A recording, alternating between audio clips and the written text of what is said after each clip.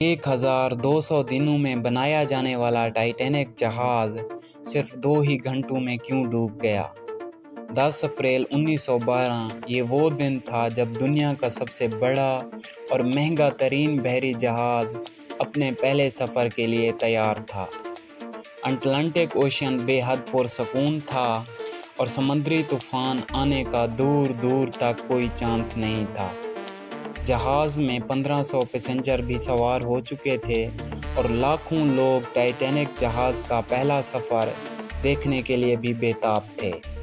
Video में आगे बढ़ने से पहले आपसे छोटी गुजारिश है कि इस चैनल को सब्सक्राइब कर दें और बेल के आइकन को प्रेस कर दें और कमेंट में ज़रूर बताना कि वीडियो कैसी लगी।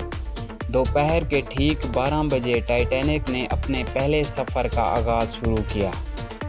टाइटैनिक जहाज़ के कैप्टन समेत को मालकान की जानब से ये डेडलाइन दी गई थी कि सिर्फ़ सात दिन में न्यूयॉर्क पहुँचना है। इसी वजह से कैप्टन ने जहाज़ की रफ्तार शुरू से ही बहुत तेज़ रखी और मुसलसल तीन दिन सफ़र करने के बाद टाइटैनिक ने फ्रांस के आइलैंड पर स्टॉप किया और स्टॉप करने के बाद 14 अप्रैल 1912 की शाम जब समंदर पर हर तरफ़ खामोशी थी और धुंध छाई हुई थी, जिसकी वजह से दिखाई भी काफ़ी कम दे रहा था। और उसी रात एक और जहाज़ टाइटैनिक से कुछ घंटे आगे था। उसके कैप्टन ने वायरलेस के ज़रिए समंदर पर तैरती हुई चट्टान, यानी आइसबर्ग के बारे में वार्निंग दी। लेकिन वायरलेस ऑपरेटर्स की कोताही की वजह से ये वायरलेस मिस हो गई। आइसबर्ग की खबर, जहाज़ के पहरेदारों ने कैप्टन समेत को उस वक्त दी जब वो जहाज़ के काफ़ी करीब आ चुका था।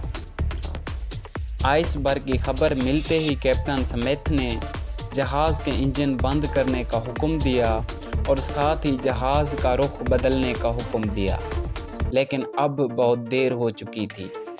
आइसबर्ग जहाज़ के इंतहाई करीब आ गया और सेंटर से टकरा गया। जिसके बाद जहाज़ के निचले हिस्से में पानी भरना शुरू हो गया और जहाज़ ऐसा ऐसा डूबना शुरू हो गया।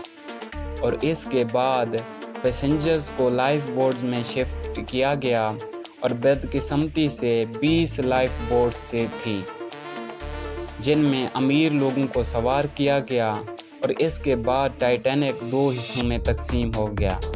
और तकरीबन 1500 लोग अटलांटिक ओशियन के ठंडे पानी में डूब कर मर गए।